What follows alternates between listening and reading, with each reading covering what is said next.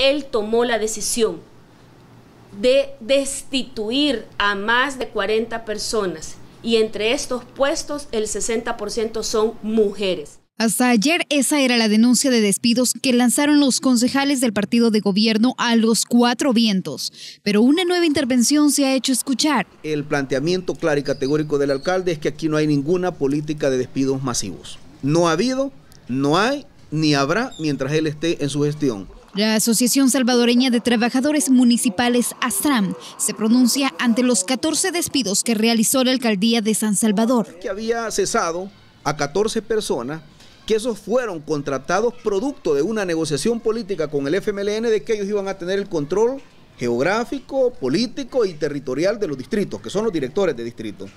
Eh, y que el resto de trabajadores no tenía ningún problema. Y ahora lanza un nuevo mensaje a la población trabajadora.